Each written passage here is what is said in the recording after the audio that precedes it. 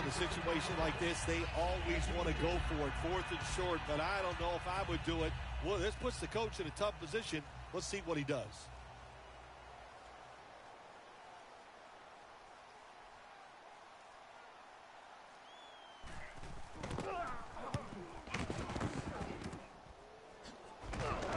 Gains about three.